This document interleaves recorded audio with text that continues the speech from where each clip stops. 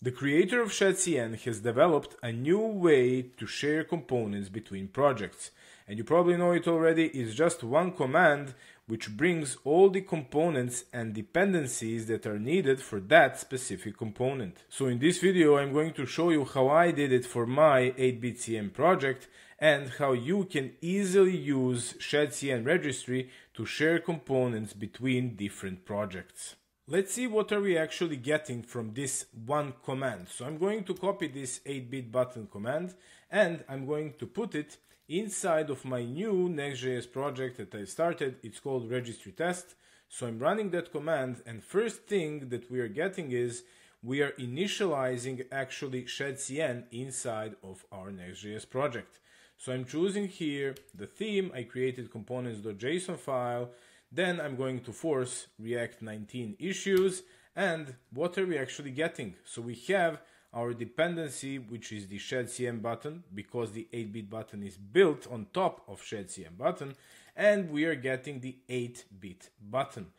Also, what we are getting, if we check git status right here, we can see that package.json is also changed. So if we check here difference in package.json, we see that we added bunch of new dependencies. So this Radix UI React slot is needed for ShadCN button and that one was also installed through the registry.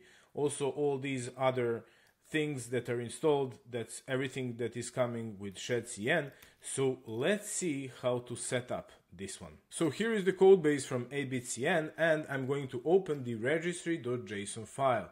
So that one is in the root directory and here we specify how are we sharing our components. So first thing we have are these three items. So we have schema. This one is pretty much not changed ever. Then we have the name of the app. This one should be actually 8bitCN and homepage should be your official public domain that is going to be used to create your own registry. And then we have the most important part, and that's the items. So here we are actually putting our components and we have here our button. So let's stick to that button component. So first we have a name of our button. That one needs to be unique. So you cannot have two 8-bit buttons. It's not going to work. Then we have the type, which is a registry component title description that's just something that goes along with your component. And then we have registry dependencies.